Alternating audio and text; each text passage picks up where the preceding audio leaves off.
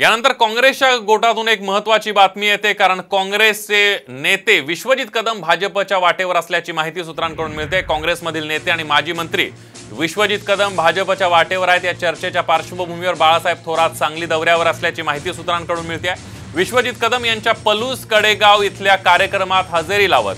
विश्वजित कदम यांच्याशी ते चर्चा करणार असल्याचं कळत आहे काँग्रेसमधील एक गट भाजपच्या संपर्कात असल्याची चर्चेनंतर बाळासाहेब थोरात यांच्या भेटीगाठी सुरू झालेल्या आहेत. त्यामुळे काँग्रेसमधली एक फळी आता भाजपमध्ये जाऊन मिळते का हे बघणं महत्वाचं ठरणार आहे. थेट जाऊयात आपल्या प्रतिनिधी रश्मी पुराणिक आपल्यासोबत आहेत. रश्मी.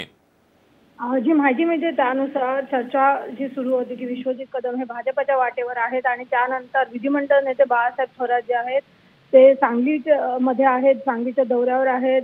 स्वतः विश्वजित कदम यांच्या मतदारसंघातील कार्यक्रमांना ते हजेरी लावणार आहेत.